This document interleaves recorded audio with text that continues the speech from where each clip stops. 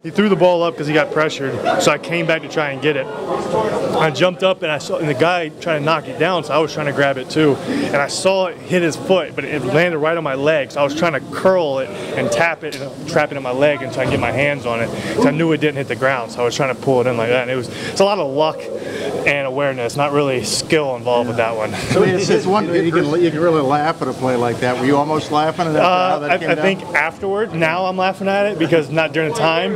You got to keep it going. Yeah. It, it, it, only matters because we won the game. So if we wouldn't have won the game, it wouldn't have mattered. But since we won the game, it was, it was great.